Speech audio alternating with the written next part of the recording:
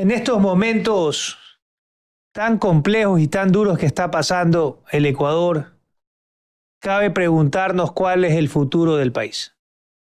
Cabe preguntarnos si es que el futuro del Ecuador será uno con más sangre, con más muerte, con más violencia, con más temor, con más destrucción, con más pobreza, con más miseria, o si nuestro futuro será uno de prosperidad, de bonanza, de paz, de seguridad, de vida y no de muerte. Cabe preguntarnos si el futuro del Ecuador es aquel en el cual matan a plena luz del día y enfrente de decenas de personas a un candidato presidencial o al alcalde de una ciudad. Este es el presente terrible que estamos viviendo, pero no debe de ser nuestro futuro. No podemos conformarnos con la tragedia que estamos viviendo. No podemos conformarnos con el país que nos están dejando.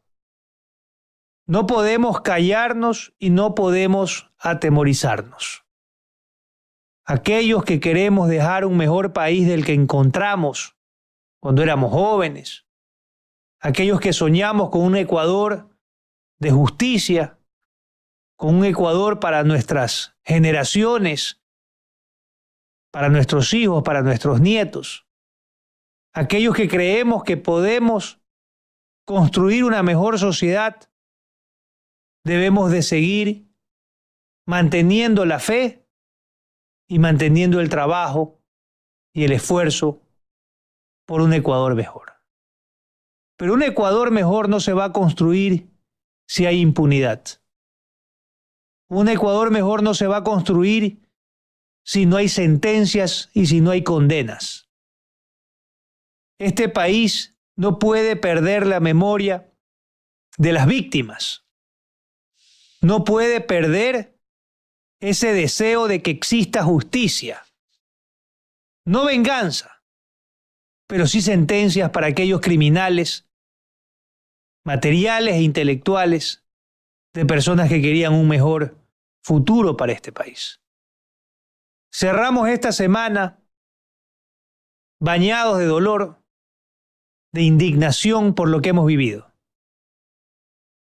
Pero debemos reiniciarla próxima semana con ese compromiso de hacer lo mejor que podamos por el país desde el lugar que estemos, desde el trabajo que realicemos, desde la función que ocupemos.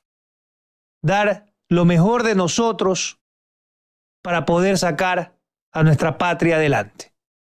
La oscuridad no se sostendrá si luchamos por que haya claridad y paz en nuestro Ecuador.